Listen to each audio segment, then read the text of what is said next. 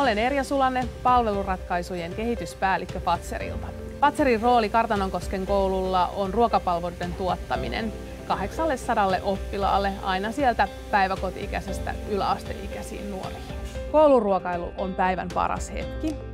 Kouluruuan tulee olla monipuolista, terveellistä, maistuvaa ja siinä tulee olla aitoja makuja. Kouluruokailussa on tietenkin hyvin tärkeää, että ravitsemussuositukset täyttyvät ja koululaiset saavat sen yksi kolmasosa päivän energiatarpeesta kouluruoasta. Täällä ruokailujaprosentti on erittäin suuri ja se kertoo siitä, että ruoka on hyvää ja se on laadukkaasti valmistettu. Kouluruokailu on tullut lisää vaihtoehtoja. Lisääntyminen näkyy muun muassa salaattipöydän runsaampana tarjoamana. Kasvisruoka on tullut aitona vaihtoehtona kouluruokailuun. Enää ei tarvita lupaa terveydenhoitajalta kasvisruoan syömiseen. Kouluruokailu on osa koulun opetusta ja sen tulisi opettaa lapsia syömään terveellisesti ja oikein. Täällä Kartanonkosken koululla oppilaat pääsee työharjoitteluun. Viides- ja kuudesluokkalaisilla on päivänpituisia työharjoitteluja ja ylemmillä luokilla on mahdollisuus pitempiaikaiseen työharjoitteluun koulun keittiössä. Henkilökunta nauttii omasta työstään. He ovat ymmärtäneet, että heillä on ruokakasvatustehtävä.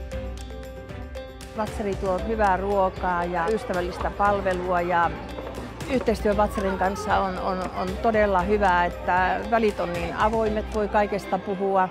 He ovat erittäin luotettava kumppani ja jos tulee jotain sellaista, että pitää muutoksia tehdä joko tuotteisiin tai palveluun, niin he ovat aina hyvin asiakaslähtöisesti mukana asioissa. Kaikissa kouluissa on kouluruokaryhmiä ja sitten on makuraateja, eli he toteuttaa näitä kaikkia, mitä me olemme pyytäneet.